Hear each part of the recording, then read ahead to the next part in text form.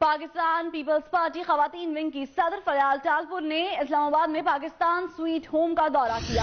انہوں نے زمرد خان اور ان کی ٹیم کو خراج تحسین پیش کیا۔ تفصیلات حاصل کریں گے روزینہ علی سے۔ روزینہ علی، آگاہ کیجیے گا۔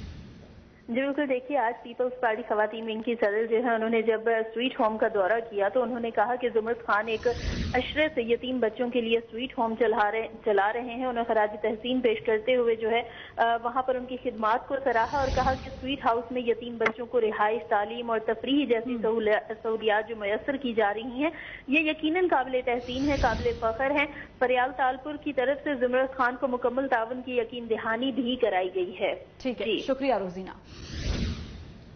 آپ کو خبر دیں، فریال تارپور نے زمرد خان کو مکمل تعاون کی یقین دہانی کرا دی ہے۔ انہوں نے آج دورہ کیا سویٹ ہوم کا۔ وہاں پر بچوں سے ملاقات کی۔ ساتھ ہی ساتھ انہوں نے زمرد خان کو مکمل یقین دہانی کرائی ہے کہ کسی بھی طرح کا تعاون چاہیے ہوگا تو پیپلز پارٹی ساتھ ہے۔